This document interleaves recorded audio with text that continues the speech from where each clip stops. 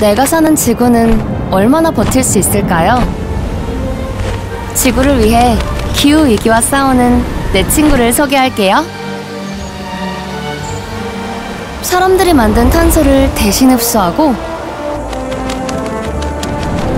자꾸만 뜨거워지는 지구의 열은 식혀주고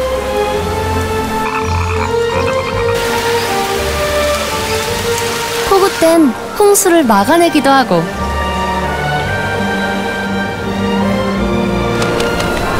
사라져가는 생명들을 품어주는 숲. 고마워.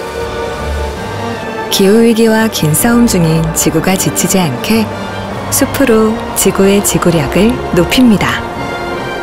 우리 강산 푸르게 푸르게 유한 킴벌리 여러분도 함께해요.